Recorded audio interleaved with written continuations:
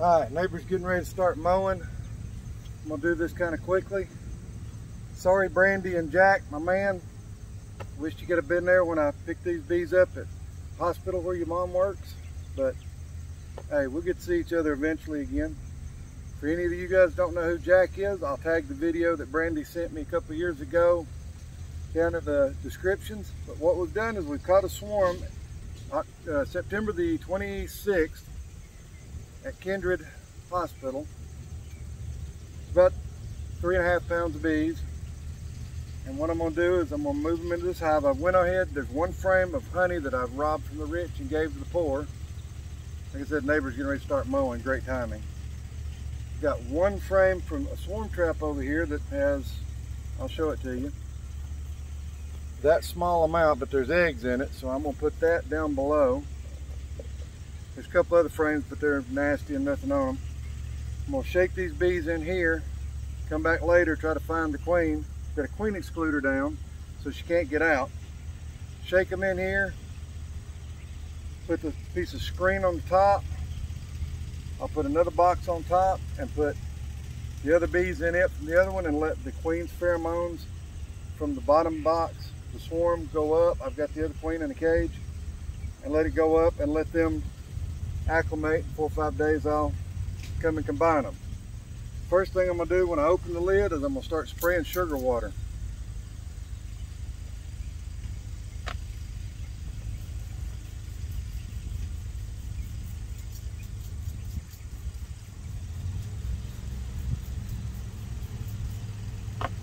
What sugar water does is it makes the bees sticky Sugar is their main source of carbs and what they will do is start licking each other instead of flying in the air. You notice that there's no bees flying in the air, hardly. Here's what's on the lid. They probably already started trying drawing comb. This is what's down in the box. Hopefully I can set this back so you can see what's going on. Maybe, maybe not.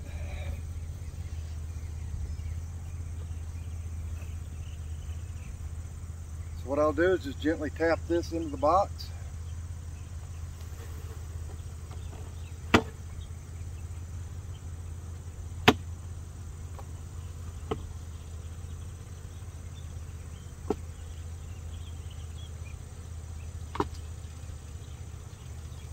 This is what they were hanging on.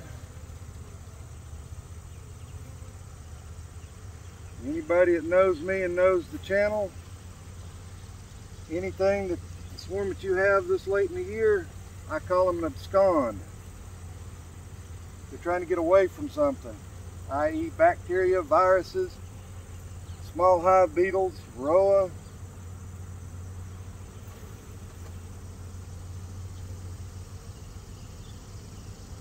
because in southeast Tennessee right now,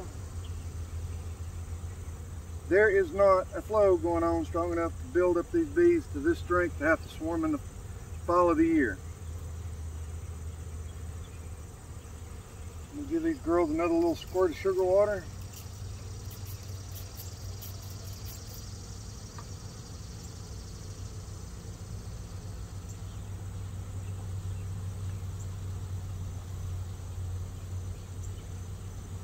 Do not see the queen. That don't mean she's not in here.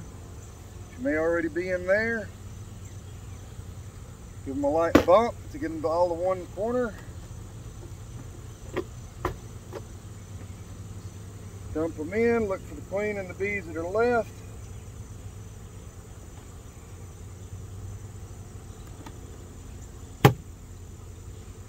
And voila, we're done.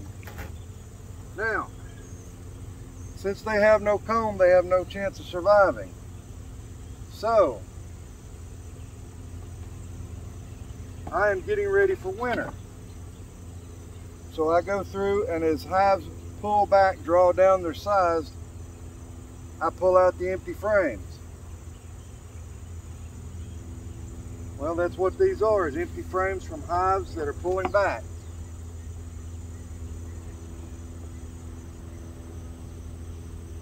I can get these ladies in that ball on that queen excluder to move, this last frame will go in just fine. You don't press it, you don't mash it, you don't do anything. Just kind of let it sit there. Push your frames together because you don't want any bee space violation, even though they're not going to draw any comb this late in the year. Now, here's the magic sauce.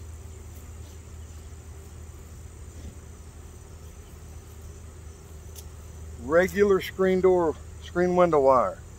They can stick their tongues through, pass pheromones. Queen won't get, won't get up there and they won't sting her. So, that goes on. And you can guess what else I forgot to bring? Another box. Be right back. And poof, just like magic, I'm back. So, I set this box, brought a medium because it's not going to be here long, three days max. Couple of frames on top of the screen door wire.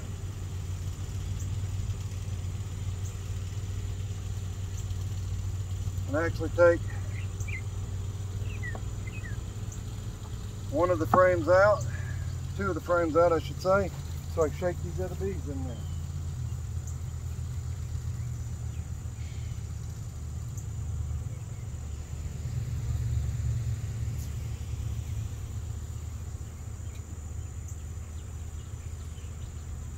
Now the other sad thing going along with this other colony,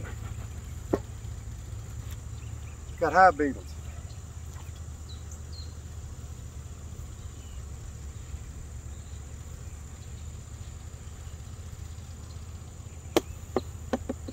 So what I do is I shake them in a box lid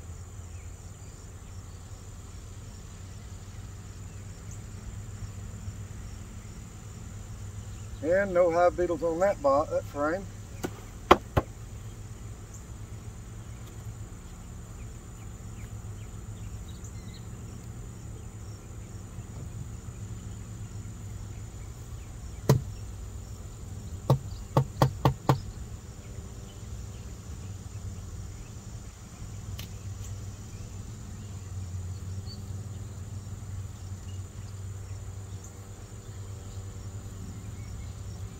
Basically all I'm doing is going through and smashing them as they run.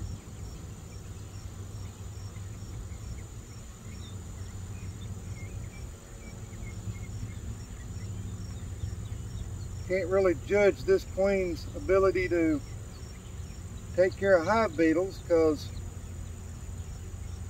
such a small population. There might be 2,000 bees So what I'm going to do is I'm going to save the queen out of this swarm. And as I go through hives today and tomorrow, if I find one that needs a queen, because I've got one down there that queen should be back and mated the last they decided to make their own queen and if they, she ain't back and mated and laying this queen will go in that box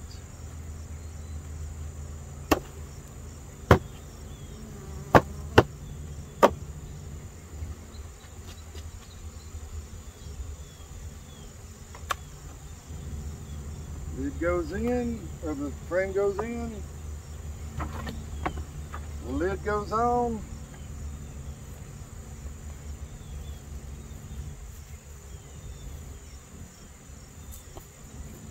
Then we have what's left in the box.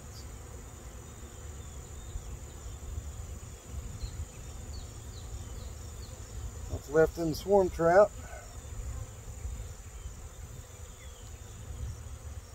These ladies will have to find their own way in. Because there's junk and all kinds of stuff in the bottom, so where they've tried cleaning up, there's wax moth debris. But that's it. How I combine two swarms. Thanks for watching. Have a great day.